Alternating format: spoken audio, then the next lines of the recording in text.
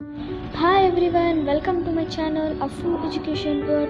So today in this video we are going to learn essay on Muharram.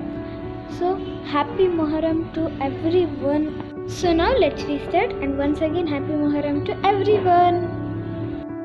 Muharram is the first and one of the four sacred months of the Islamic calendar.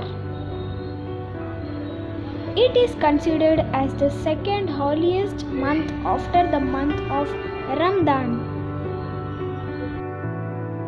Muharram is so much scared in Islam that fighting and warfare are forbidden. 10th day of Muharram is very important, which is known as the day of Ashura.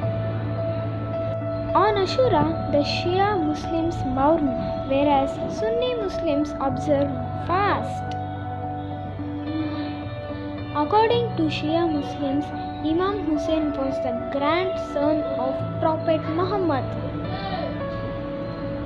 He was martyred with his family and followers in the Battle of Karbala.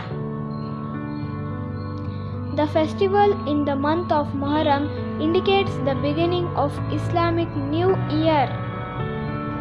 The festival of Muharram is celebrated by both Shia and Sunni Muslims in the world.